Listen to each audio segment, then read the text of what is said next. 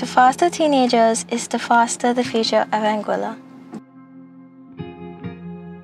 Our theme for the foster care campaign is Stand by Teens.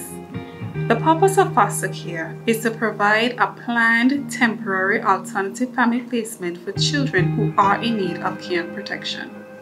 All children need caring, significant adults in their lives, including teenagers as they transition into adulthood. Teenagers, like all children, enter the foster care system through no fault of their own due to varying reasons. In order to help teenagers overcome life's hurdles, we continue to encourage persons to become foster carers.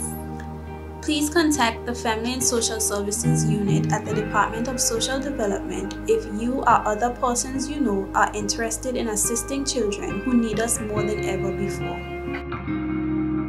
Please stand by teens by opening up your hearts and homes and foster the future of Anguilla.